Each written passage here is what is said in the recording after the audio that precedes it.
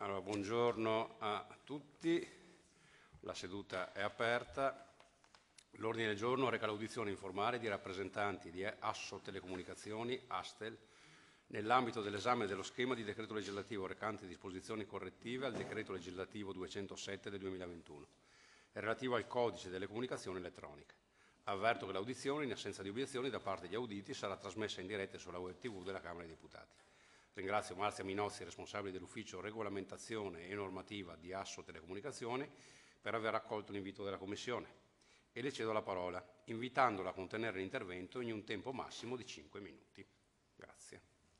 Sì, grazie. E appunto Asso Telecomunicazioni è l'associazione della filiera delle telecomunicazioni aderente a Confindustria, giusto per dare un flash diciamo, di chi siamo.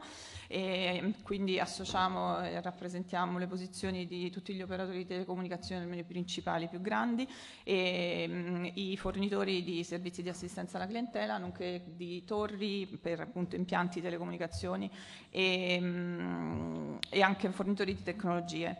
Eh, questo, mm, de, questo schema di decreto che stiamo discutendo quindi è chiaramente di importanza piuttosto rilevante per la filiera che rappresento perché il codice delle comunicazioni elettroniche chiaramente è il, la norma quadro di riferimento che impronta poi tutta l'attività anche proprio strettamente operativa degli, del, degli associati ad Astel e quindi poi di coloro che sono chiamati anche a realizzare obiettivi molto importanti nell'ambito delle priorità di, industriali direi nazionali come quello della realizzazione delle reti ad altissima capacità su tutto il territorio nazionale. E, um, questo dicevo, è un uh, schema di decreto molto importante perché va ad intervenire sul codice sfruttando la possibilità appunto di apportare correzioni rispetto all'ultimo intervento che ha recepito la direttiva la, il quadro normativo comunitario sulle comunicazioni elettroniche. E, um, possiamo andare quindi a lavorare un po' eh, per differenza rispetto a quello che da allora ad oggi è successo. Perché dico questo? Perché ehm, notiamo che rispetto alle attese che anche il settore e la filiera nutrivano su questo provvedimento eh, ci sono delle disposizioni che avremmo gradito diciamo così, vedere recuperate nel testo che invece ci sembrano mancare. Ci sono sicuramente delle disposizioni che invece valutiamo positivamente perché appunto adesso adeguano il testo a modifiche che nel corso del tempo il mercato ha sperimentato e anche se, a cominciare dalle definizioni stesse che vengono inserite nel codice, anche se su alcune potrebbe essere utile un affinamento proprio del testo delle, delle disposizioni. Poi io adesso, visto che abbiamo un tempo così piuttosto ristretto, andrò molto velocemente, ma vi lasciamo sicuramente un contributo più di dettaglio eh, che poi articola anche proprio rispetto all'articolato quello che, che sto dicendo.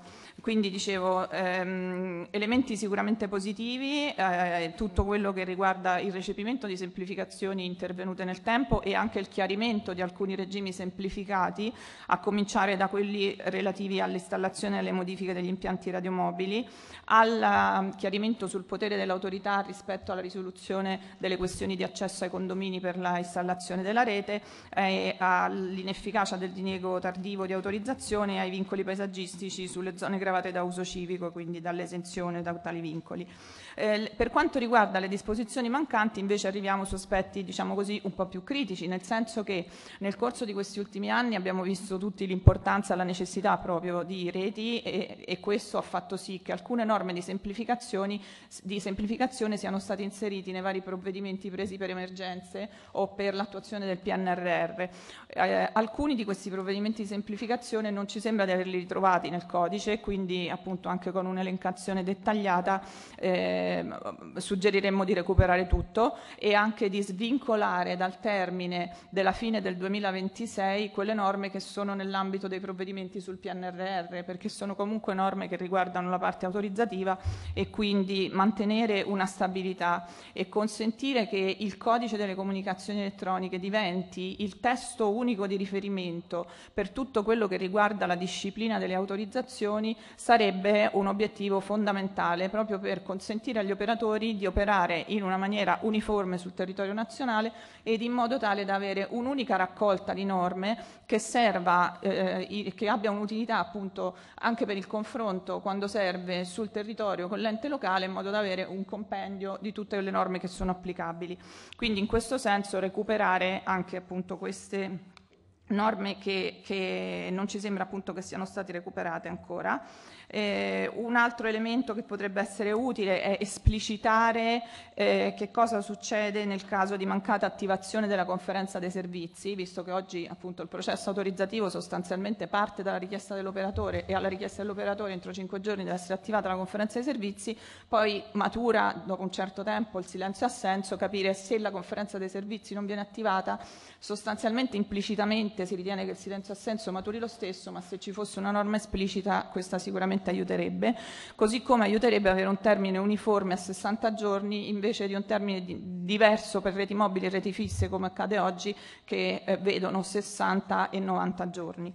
Questo per quanto riguarda le norme mancanti, diciamo così. Un ultimo flash sulle norme mancanti riguarda un chiarimento che potrebbe essere opportuno sulla responsabilità degli operatori per quanto riguarda le prestazioni di giustizia, perché la norma come è formulata attualmente sembra ricondurre delle responsabilità in capo agli operatori anche nel caso in cui la richiesta riguardi il contenuto di comunicazioni che non sono nella sfera di responsabilità dell'operatore, ad esempio forniti da terzi, tipicamente gli OTT, no? l'esempio tipico è la comunicazione WhatsApp l'operatore telecomunicazioni non, può, non ha proprio tecnicamente gli strumenti per intercettare come ha invece su un sms per dire, quindi lì dovrebbe essere chiarito questo aspetto della responsabilità.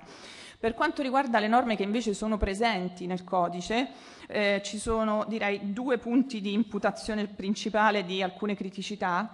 Uno riguarda l'intervento sull'insediamento eh, per gli impianti radiomobili, perché proprio nel testo utilizzato ci sono delle locuzioni e dei termini che potrebbero riaprire questioni interpretative che hanno invece già una giurisprudenza consolidata alle spalle e faccio in particolare riferimento al punto dove si cita la possibilità per regioni enti locali di fare limitazioni su zone rispetto appunto alla possibilità di installare le, mh, mm, eh, gli impianti radiomobili. Ora, nella normativa attuale, quella di radioprotezione, la 36 del 2001, anche eh, in seguito agli ultimi interventi realizzati insomma, negli ultimi anni, è specificato che queste limitazioni possono essere applicate a siti sensibili e quindi sarebbe più opportuno da un lato forse citare direttamente la legge 36-2001 senza diciamo, utilizzare locuzioni che la richiamano, tipo quello della protezione dalle emissioni elettromagnetiche, fare riferimento semplicemente al set normativo completo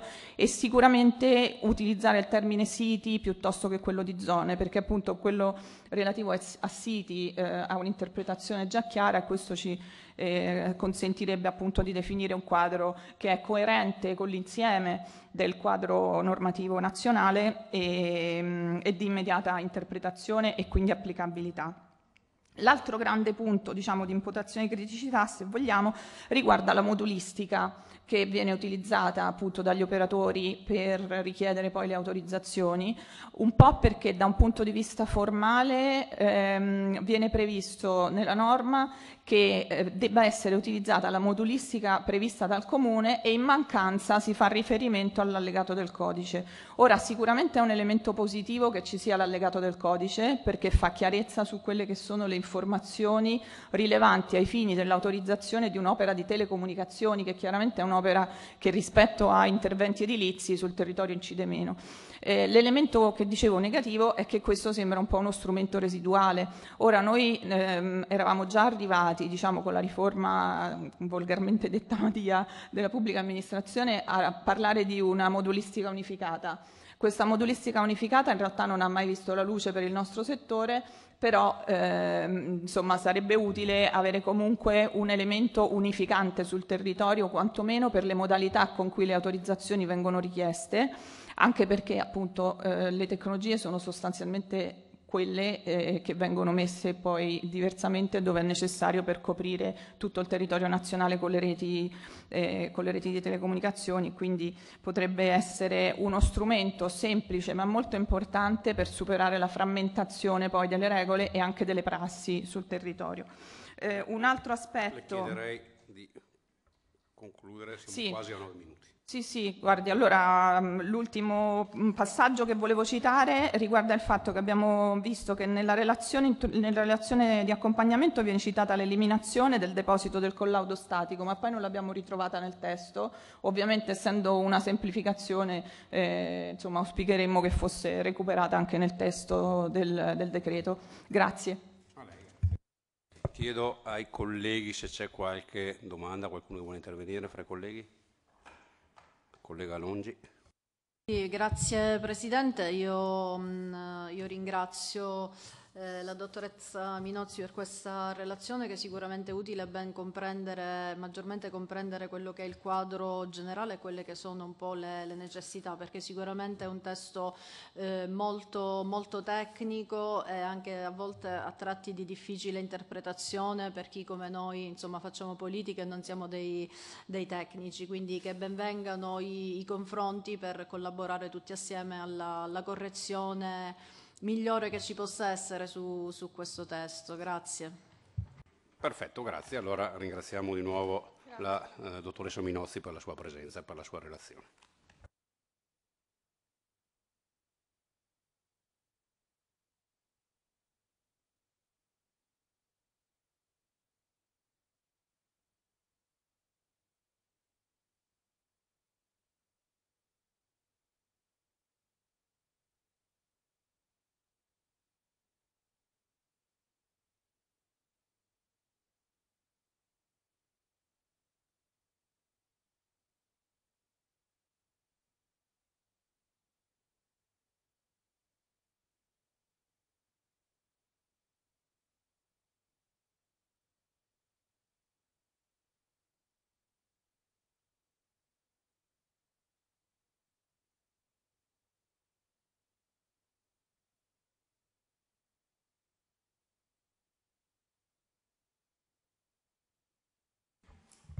Allora, buongiorno.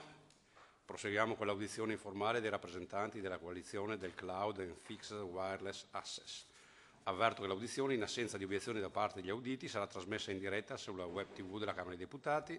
Ringrazio Enrico Boccardo, Presidente della coalizione, accompagnato dalla Vicepresidente Sara Servili e dal Segretario Generale Dario Denni per aver accolto l'invito della Commissione e cedo la parola, invitando a contenere l'intervento in un tempo massimo di 5 minuti.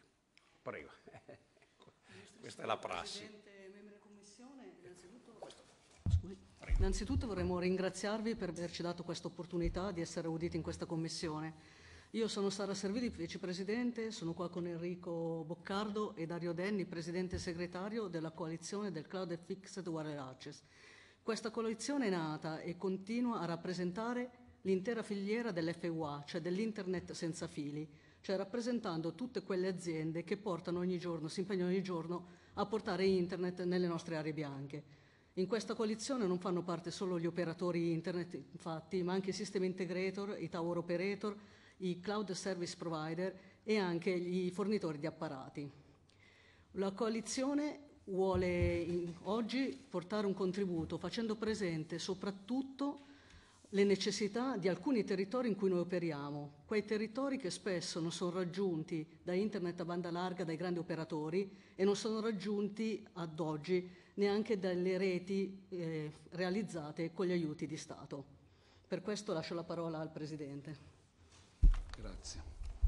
Allora, visto il tempo esiguo, andrò solo per eh, i sommititoli. Volevo incominciare con eh, la richiesta eh, di poter integrare la parola wireless ogni qualvolta si, vede, si parli di rete mobile e rete fissa. Questo perché il codice è nato nel 2003 e quindi eh, al tempo c'erano solo reti fisse e reti mobili, fisse ADSL, quindi in rame. La rete FWA è nata nel, possiamo dirlo con decreto Landolfi ottobre 2005 dove ha liberalizzato un set di frequenze e di lì eh, siamo nati noi operatori FWA. Quindi, ehm, dato che ormai questo codice ha più di 20 anni, è necessario aggiungere anche la, la nostra quota parte, poiché eh, a detta dell'osservatorio dell'Agicom ormai abbiamo raggiunto quasi 2 milioni di linee su 20 milioni. Mi soffermo a, come secondo punto sugli obblighi e le sanzioni racchiuse all'interno del codice. Eh, si è raggiunto dopo tanto tempo per i piccoli operatori eh, al pagamento dei diritti amministrativi in modo proporzionale. Questo però non avviene nella parte delle sanzioni, dove ci sono delle sanzioni molto alte, anche alte per gli operatori eh, big e nazionali, ma in particolare per noi piccoli operatori dove fatturiamo qualche milione di euro ci sono delle sanzioni che vanno da 240.000 a 5 milioni.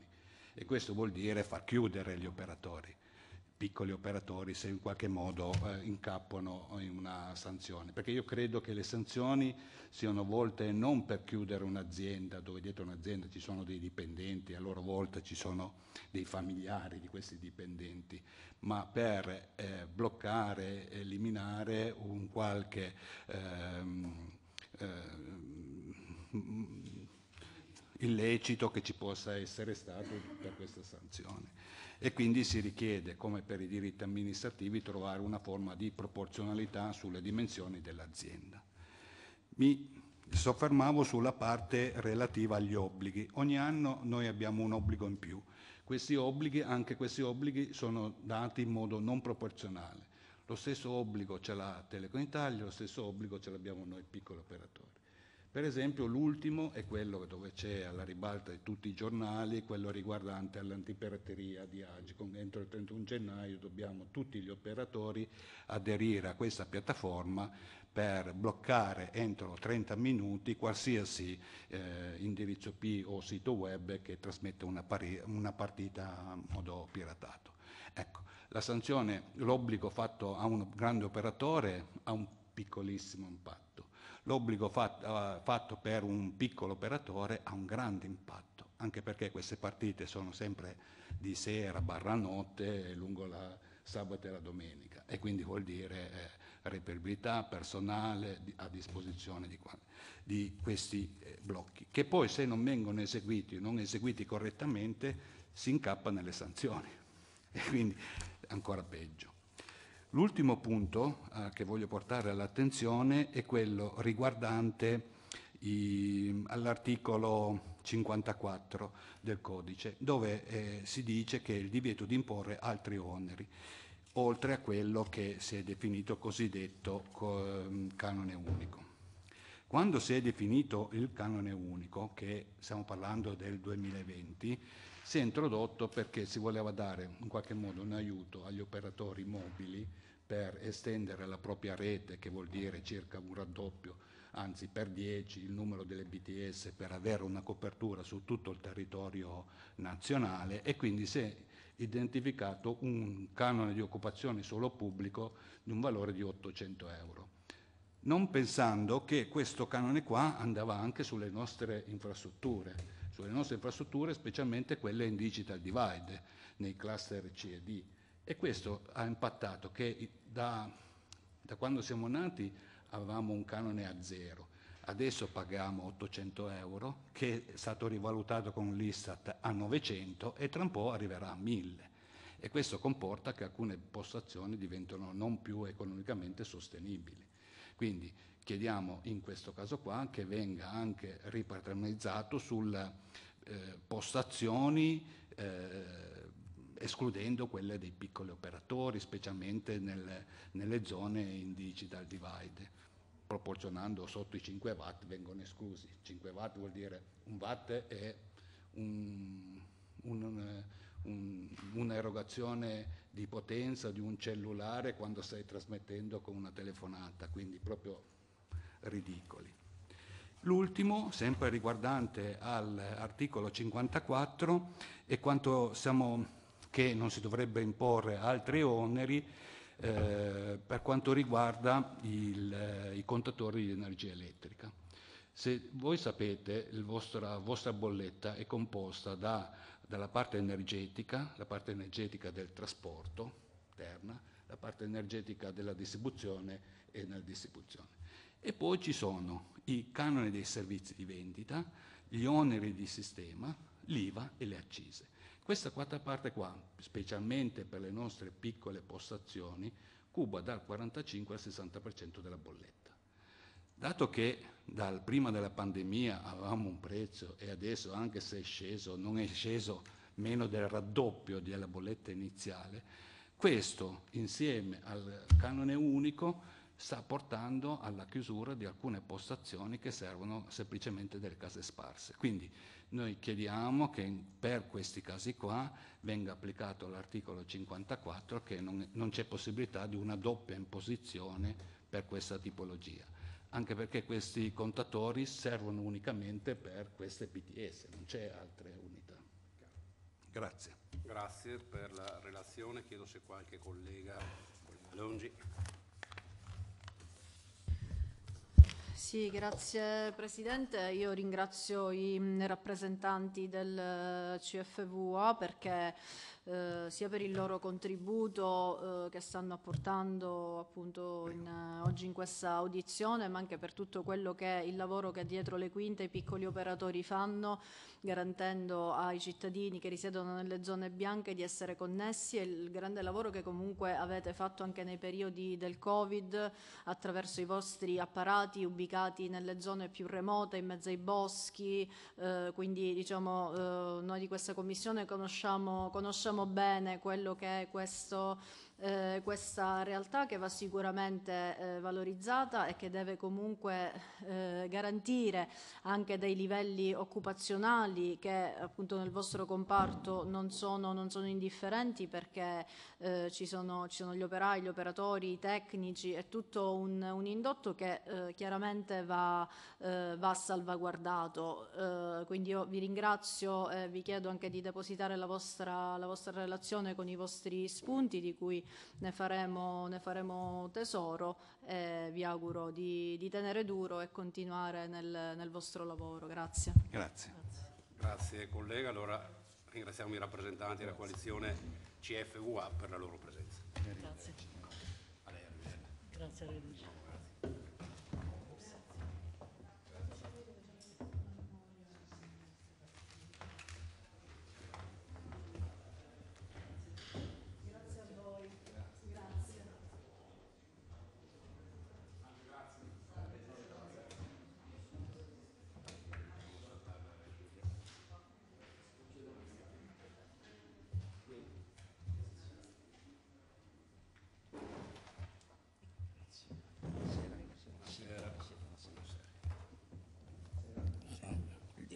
Grazie a lei.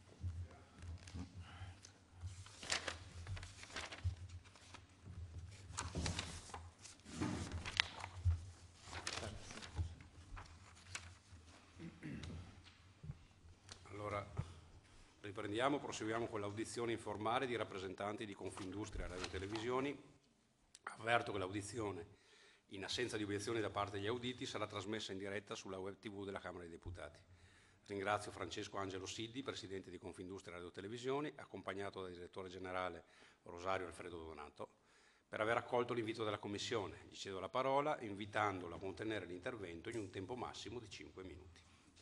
Grazie signor Presidente, grazie onorevoli deputati, cercheremo di essere brevi mm, come richiesto, anche perché la materia su cui siamo chiamati a interloquire è una materia molto tecnica, molto, con tante complessità ed anche di esposizione, che eh, preferiamo che i dettagli vengano osservati, se possibile, lo chiediamo questo al Presidente agli onorevoli parlamentari, e um, alla luce anche di quanto abbiamo messo a punto in un testo scritto, già inviato, penso, non so se già in distribuzione, ma l'abbiamo inviato poco prima di arrivare qua, perché dovendo fare tanti richiami ad articoli, commi, con richiesta di intervenire su una parola, magari, ecco, diventa complicato nell'esposizione orale dire tutto. Chiaramente noi questo provvedimento in esame ci interessa in quanto operatori del settore radio-televisivo, non direttamente operatori di rete, ma in alcuni casi costretti a fare anche operatori diretti o comunque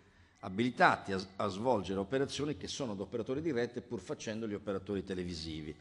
E, e que, questo lo avvertiamo soprattutto nel settore radiofonico in particolare, ma anche spesso nell'ambito della televisione. Di che cosa abbiamo bisogno? Abbiamo bisogno, lo dico in termini di carattere generale, che sia garantito un ambiente tecnologicamente neutrale e che sia soprattutto avviato un grande processo di semplificazione amministrativa per il rilascio dei titoli di autorizzazione, per esempio, per la, eh, modalità di richiesta eh, di rilascio dei titoli, per la riduzione degli oneri amministrativi a carico degli operatori. Questi sono alcuni punti proprio diciamo, base dal punto di vista di, della, della, cornice. Dal punto di vista eh, pratico e concreto noi chiediamo per esempio che ci siano delle modifiche, per esempio all'articolo 44,2, l'autorizzazione per l'installazione degli impianti, chiediamo qui che eh, ci sia una mh, semplificazione, eh, soprattutto aprendo la strada laddove, perché si parla di portali, di altro, non, tu, non sempre tutto funziona sul piano della, della digitalizzazione avanzata, nel rapporto con la con i vari enti con i quali dobbiamo interloquire per il rilascio delle varie cose. Chiediamo che si sia abilitate, per esempio, anche ad, ad, che sia abilitata la posta elettronica certificata. Sembra banale, sembrerebbe essere una cosa normale, beh, ci dobbiamo chiedere che ci sia, così come dobbiamo chiedere che sia immediatamente, una volta per la domanda, reso noto chi è il eh, titolare del procedimento, di modo che la pratica possa essere seguita e gestita eh, anche dall'interessato perché si tratta di garantire in contemporanea dei servizi, sono servizi di informazione, servizi di diffusione comunque di un'attività eh, legata appunto alla, um, alla, comunicazione, quindi questo è, è, ci sembrano cose semplici, ma c'è bisogno di un intervento, di un intervento piano, eh, che entri quindi nel, dentro il testo del, eh, eh, nuovo che si va a, a predisporre. Il, ehm, il, il, tema della larga, quanto c'è sulla larga, un della larga, banda larga eh, mobile, anche lì chiediamo di accelerare, di poter accelerare gli investimenti e quindi chiediamo che ehm, per il completamento delle reti eh, si mh, possano eh, accelerare tutte le procedure relative agli investimenti per l'installazione degli apparati, per esempio. Eh, e anche qui sempre il ricorso, la possibilità di ricorrere al portale telematico in alternativa alla posta elettronica certificata. Questo lo troverete in tutti i passaggi, la richiesta diciamo, di includere, di estendere la, tra le, negli elementi di procedura l'utilizzazione della posta elettronica eh, certificata.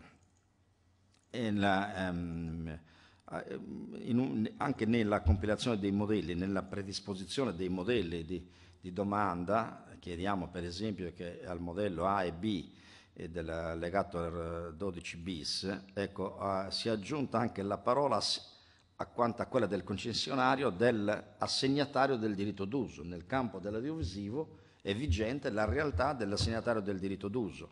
Ecco, quindi ecco, tutte queste eh, specifiche noi le abbiamo volute eh, segnalare perché eh, portino a far funzionare in maniera non solo celere ma efficiente ecco, tutto il, il sistema.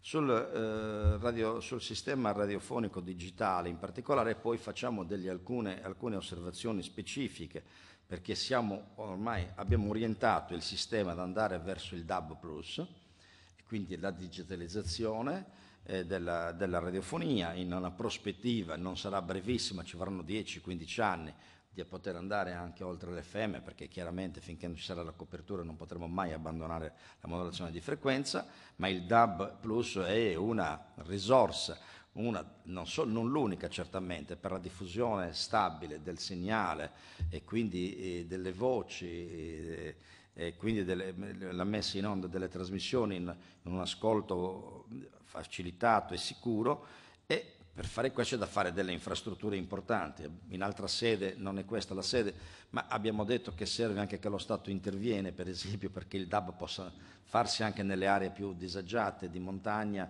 e delle gallerie, lì non lo può fare solo il privato operatore, dovrà, ci dovrà essere anche un intervento pubblico, ma noi pensiamo alla, al DAB per l'ascolto della radio, per esempio in macchina, in mobilità, e questo ha bisogno di una copertura di impianti idonei che siano, oh, possono svilupparsi in, una maniera semplificata, che non vuol dire che non vogliamo i controlli, vogliamo dire per esempio laddove c'è già un impianto, per esempio, quell'impianto se dobbiamo adeguarlo, ecco, lo si consideri come un, non come un impianto nuovo, ma come un impianto appunto, che si va ad adeguare, se vai, mai si vada a misurare, se ci sono emissioni diverse, ma non si deve restare lì con una serie di giorni di attesa e indefiniti per la soluzione della pratica o per sapere se devo apportare dei, mm, dei correttivi. Laddove ci sono variazioni sostanziali, eh, eh, qui per il passaggio alla tecnica, eh, alla tecnica, digitale, noi chiediamo di precisare le che le tipologie di variazioni siano indicate eh, de, eh, la, siano indicate precisamente quelle che effettivamente sono sostanziali, ma se non sono sostanziali che si possa andare avanti diciamo, con una certa agilità. E chiediamo poi sui contributi che occorre pagare per i contributi per eh, i diritti amministrativi che ci sia una moratoria, mi pare di dieci anni, dico bene direttore se non sbaglio, che ecco, che era prevista in origine e che adesso non si capisce se è confermata o meno, di, se non fosse confermata andrebbe, andrebbe chiarita. Infine l'obbligo della dotazione di un apparato per la ricezione del radio digitale su tutte le categorie dei veicoli, oggi ce l'abbiamo e quindi questa è una novità aggiuntiva, specifica del nostro settore, oggi questo obbligo esiste per le, le auto di categoria MN diciamo così, che sarebbero le, le automobili più mh, avanzate, di mettere su tutte le categorie, quindi anche sui camion, anche su, anzi forse serve ancora di più lì e, e, sui mezzi pubblici perché eh, avere la radio sempre disponibile per chi viaggia è anche un servizio di pubblica utilità e, corrisponde anche a un'esigenza di sicurezza, e penso alla sicurezza del traffico ma anche alla sicurezza rispetto a interventi di eventuali emergenze che dovessero capitare. Altri elementi tecnici, diciamo così, specifici Chiederei sono nel documento, quindi mi fermerei qui perché forse ho già superato il tempo. Grazie. Allora la ringrazio. Collega Longi, prego. Eh, grazie Presidente, grazie ai rappresentanti di Confindustria e Radio Televisioni che ci hanno anche mh, esposto il loro punto di vista diverso per certi aspetti rispetto a chi vi ha preceduto. Sono comunque comuni, del, mh, sono comuni eh, degli elementi che eh, sono, sono, emersi dalle, dalle, audizioni fin qui consumate, prima fra tutte la semplificazione dei, dei processi che è comunque uno degli obiettivi di questo, di questo questo governo e dell'intero piano sulla digitalizzazione, quindi sicuramente sarà un aspetto fortemente attenzionato, così come lei ha citato alcuni articoli che sono comuni anche ad altri operatori del, del settore sui quali avremo cura di, eh, di, interve di intervenire nel modo migliore possibile. Grazie. Grazie collega Longi e ringraziamo quindi i rappresentanti di Confindustria Radio Televisioni per la loro presenza. Grazie.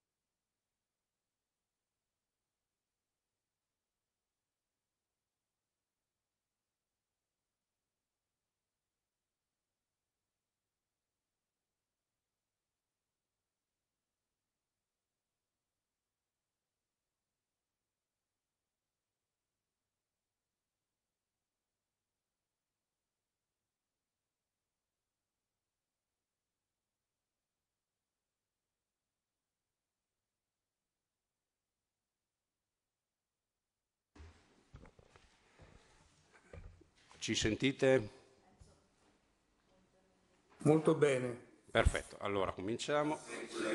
Allora proseguiamo con l'audizione informale di rappresentanti della Federazione Aziende Italiane per l'Aerospazio, la Difesa e la Sicurezza, AIAD. Avverto che l'audizione, in assenza di obiezione da parte degli auditi, sarà trasmessa in diretta sulla web TV della Camera dei Deputati. Ringrazio Carlo Festucci, segretario generale di AIAD, accompagnato dal membro del Comitato Direttivo Cyber Antonio Ianna Morelli. Per aver accolto l'invito della Commissione gli cedo la parola, invitandolo a contenere l'intervento in un tempo massimo di 5 minuti. Grazie, vi cedo la parola. Buongiorno Presidente, sono Carlo Festucci, cercherò anche di farvi guadagnare tempo. noi vorremmo ragionare intorno all'articolo 57 del codice, in quanto questo articolo 57 dal nostro punto di vista altera fortemente il mercato, quindi diventa un problema molto serio. Nel merito io darei la parola per farvi guadagnare tempo al membro del Consiglio mh, del nostro gruppo di lavoro della Cyber in modo tale che entri direttamente nel merito e quindi accorciamo un po' la discussione. Grazie. Grazie a voi. Grazie Presidente, eh, come ha detto il nostro segretario generale, eh, noi ci aspettiamo uh, un vostro intervento eh, al fine di ottenere una modifica dell'articolo 57 del codice ed in particolare la normativa sulle eh, prestazioni obbligatorie in relazione ai criteri che il codice dà ai ministeri per fare il decreto attuativo che disciplina eh, nel dettaglio le prestazioni appunto rese nei confronti eh, delle autorità come quelle ad esempio di intercettazione telematica. Ad oggi la normativa che è in proroga eh, prevede che eh, sia gli operatori delle telecomunicazioni, come diceva la collega di Astel prima, ma anche i fornitori di applicazioni siano tenuti a trasmettere i eh, contenuti delle comunicazioni così come trasmessi o ricevuti dal bersaglio a prescindere dalla tecnologia di crittografia utilizzata. Eh, ad oggi questa è una cosa che non è più possibile perché la crittografia end-to-end che è diventata uno strumento eh, attualmente in uso a Whatsapp, a Teams, anche a, a questa soluzione che stiamo utilizzando in questo momento, non prevede la possibilità che il fornitore di applicazioni e, e l'operatore di telecomunicazioni abbiano le chiavi per decrittare i messaggi che invece sono per ovviamente questioni di sicurezza eh, detenuti esclusivamente dagli utenti. Quindi ad oggi ehm, questa è una prestazione che è tecnologicamente impossibile. Qual è il grave problema a livello di mercato a cui faceva riferimento eh, il nostro segretario generale? Le prestazioni obbligatorie si applicano esclusivamente eh, nei confronti dei soggetti che sono presenti sul territorio nazionale. Quindi se un soggetto opera questi servizi o fornisce queste applicazioni dal di fuori del territorio nazionale senza la presenza di infrastrutture sul territorio nazionale, non è soggetto alle prestazioni obbligatorie e quindi non essendo soggetto a queste prestazioni obbligatorie non è neanche soggetto a eventuali sanzioni qualora non fosse in grado di provvedere. Quello che noi chiediamo è che eh, voi richiamiate il governo innanzitutto a eh, non richiedere prestazioni obbligatorie non possibili sotto il profilo tecnologico o comunque a prevedere che non si può essere sanzionati se uno non adempie, non perché non vuole adempiere, ma perché non è nelle capacità tecnologiche di adempiere e sia ovviamente in grado di dimostrarlo. E che dall'altro lato questo non determini una discriminazione di mercato. Vede, signor Presidente, vedete, signori membri della Commissione, l'industria della difesa in Italia è stata sempre all'avanguardia nell'ambito delle comunicazioni sicure. I più grandi player del nostro mercato sono leader nell'ambito delle comunicazioni criptate, delle quali forniscono ovviamente le forze dell'ordine, le forze armate in Italia e all'estero. Purtroppo questa norma impedisce che tutti questi operatori possano fare un grande investimento all'interno di un mercato civile nazionale che ormai è assolutamente non solo sviluppato, ma totalmente eh, occupato da operatori stranieri.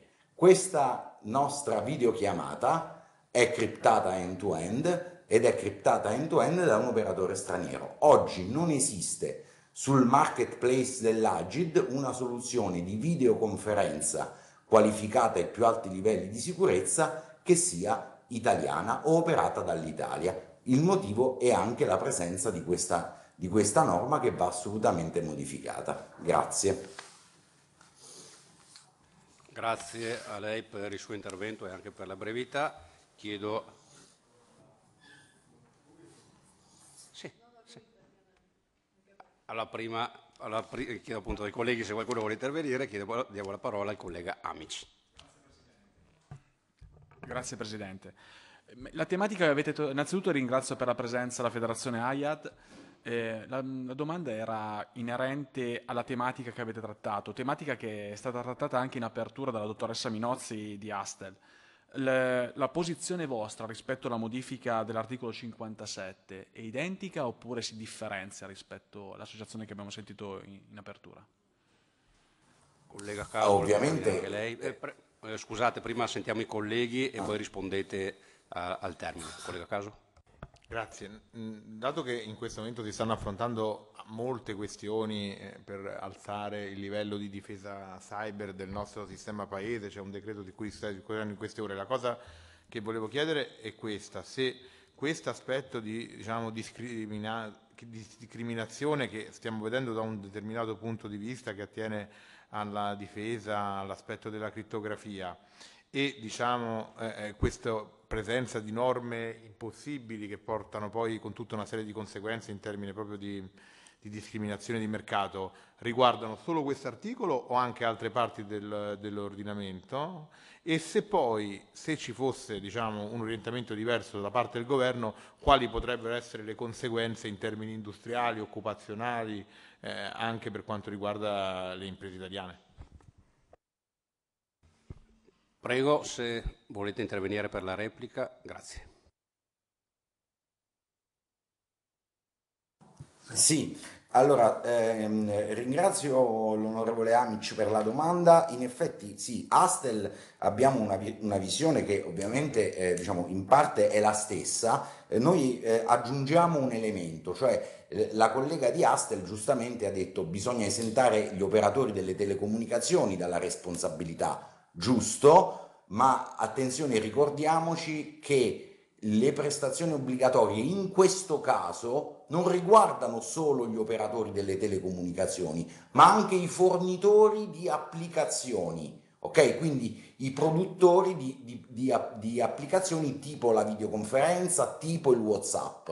Quindi sì, giustamente Astel chiede di ehm, esentare gli operatori e ci mancherebbe altro, siamo d'accordo anche perché ci sono operatori delle telecomunicazioni che fanno parte anche di AIAD e condividiamo la loro posizione, vi richiamiamo sul fatto che questo specifico obbligo, questa specifica parte del codice non riguarda solo gli operatori, ma anche i fornitori di applicazioni. E poi c'è un termine particolare, risorse utilizzate dall'utente, che significa non solo quindi le applicazioni digitali, ma anche ad esempio quegli strumenti che sono le cifranti. Le cifranti normalmente sono utilizzate in ambito militare, ma ultimamente anche molto da soggetti civili, pensiamo alle banche e in AIAD ovviamente c'è la grande capacità di costruire non solo applicazioni digitali, ma anche più tradizionali applicazioni hardware e anche queste sono colpite dalla dalla norma quando vanno su un'applicazione di tipo civile. Ripeto, una roba che quando è stato fatto il vecchio codice ehm, non era assolutamente comune e diffusa, oggi invece eh, il, gran parte delle comunicazioni che noi facciamo sono comunicazioni criptate o che, o che richiedono la crittografia, quindi solo, solo, noi, solo il nostro comparto è escluso da, dall'interesse imprenditoriale di poter perseguire questo mercato. Per quello che attiene a che se facciamo riferimento a parti oltre l'articolo 57 direi di no, per noi quello è il problema. Faccio un esempio per cercare di spiegare, eh, o dare una spiegazione alla domanda che ci è stata fatta. Oggi, quando io parlavo di mercato drogato, lo, ne parlo in questo modo. Se io voglio avere una certezza della cifratura del mio, eh, dei miei interessi, delle mie comunicazioni, quello che è, con una norma per come è prevista dall'articolo 57, io devo rivolgermi necessariamente a un soggetto estero, perché è l'unico che garantisce che poi non darà le chiavi della cifratura. Questo è del tutto evidente che va a alterare il mercato, perché se questa è la logica, dal nostro punto di vista non ci sarà nessuno che acquisirà eh, cifrature da parte nazionale. Io capisco l'esigenza da parte della sicurezza dello Stato di poter avere invece la possibilità di intervenire su intercettazioni e quindi avere le chiavi di cifratura. Eh, però questo deve essere fatto senza mettere in difficoltà le aziende, perché se no diventa un problema. Spero di essere stato chiaro, l'ho fatta sintetica che non volevo che le, le risposte fossero più lunghe dell'introduzione. Gentilissimi, grazie, molto chiaro, quindi vi ringrazio per la vostra relazione e dichiaro chiusa questa parte dell'audizione. Grazie. Grazie. Grazie a voi, arrivederci.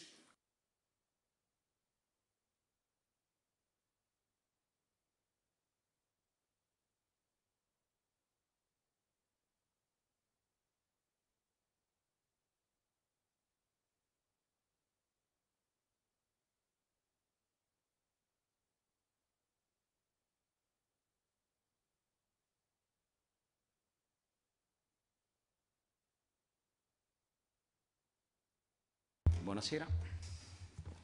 Allora, proseguiamo con l'audizione informale di rappresentanti di Infratel Italia SPA.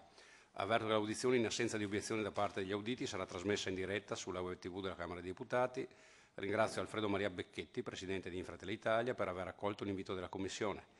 Gli cedo la parola, invitandolo a contenere l'intervento in un tempo massimo di 5 minuti. Grazie a lei la parola.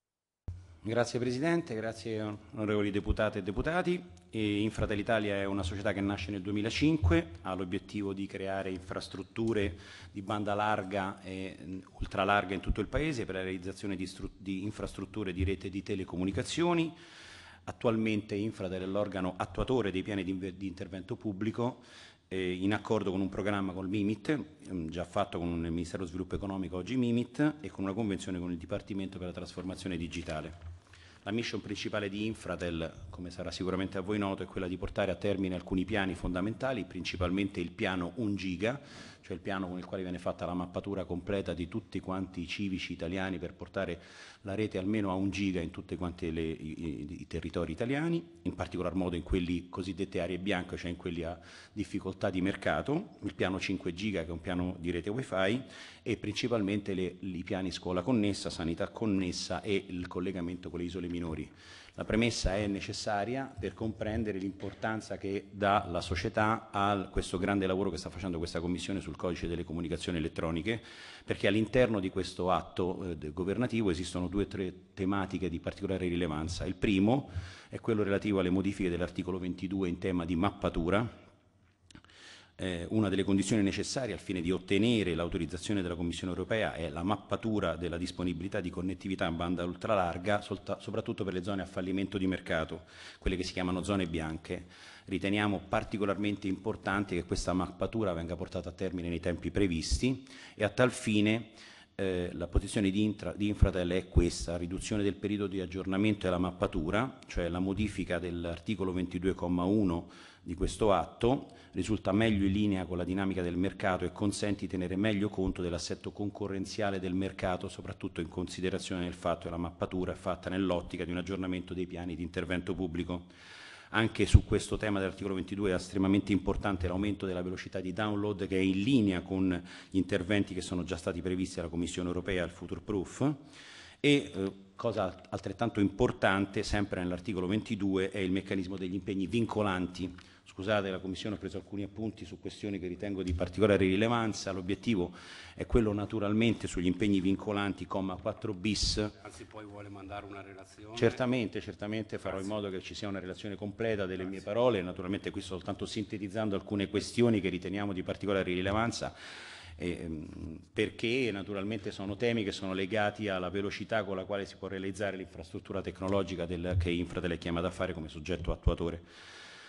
Eh, su questo tema, dicevamo, stavo, stavo dicendo, questo tema degli impegni vincolanti, L'obiettivo è quello di introdurre un meccanismo in base al quale alle informazioni rilasciate da parte degli operatori relative alle pianificazioni delle installazioni viene attribuita la natura di impegno volontariamente assunto.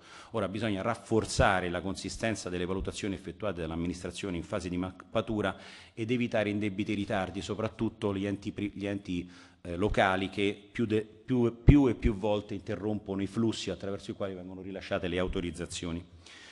Il meccanismo sanzionatorio che viene dato agli operatori è un meccanismo sanzionatorio che leggiamo nella norma sempre nell'articolo 22, comma 2, eh, commi 4 bis e 6, eh, rilevo che la società Infratel, che ripeto soggetto attuatore, non è autorizzata a, dare, a sanzionare gli operatori per i ritardi, questo lo può fare soltanto il Ministero e allora riteniamo sia particolarmente opportuno che questa Commissione dedichi molto tempo a determinare quelle che sono le, eh, gli elementi dei, sanzion dei sanzionamenti, in modo tale che ci sia una certezza sulle attività che devono essere svolte dagli operatori per evitare che ci siano sanzioni rilasciate in maniera eh, non oggettiva.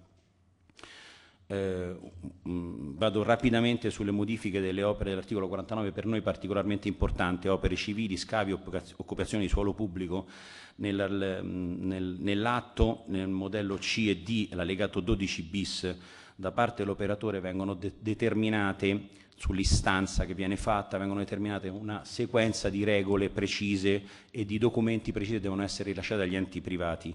Ora, spesso accade che eh, gli enti eh, territoriali chiedano documentazione ulteriore rispetto a quella che è prevista da questi due allegati. Questa è un, un'interruzione dell'attività che deve essere svolta agli operatori molto grave perché rallenta i flussi eh, sulla semplificazione. Così come riteniamo che sia particolarmente importante sempre su questa tematica che venga dato grande sviluppo all'Istituto del Silenzio Assenso per evitare che formulazioni nuove sul silenzio assenso possano indurre eh, gli operatori a non avere chiarezza sulle attività e sul tempo che deve essere trascorso.